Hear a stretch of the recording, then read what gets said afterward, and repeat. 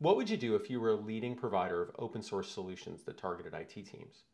And you knew that these IT teams had grown to love and trust your solutions over the years.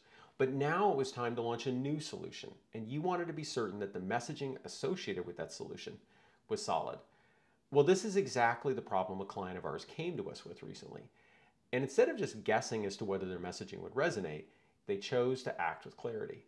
And once they did that, they asked us to conduct a series of in depth interviews with key target personas, including CIOs, senior directors of operations, and other senior titles. And these interviews spanned a range of industries from manufacturing and healthcare and education and high tech and finance.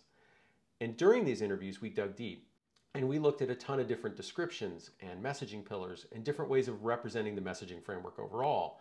And we asked participants also to rank and rate what they were seeing. And ultimately, with the insights from the research in hand, our client was able to go to market much more confidently.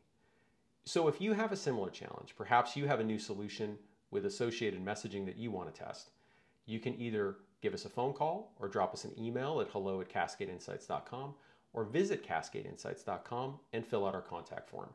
And hopefully, we can help you act with clarity too.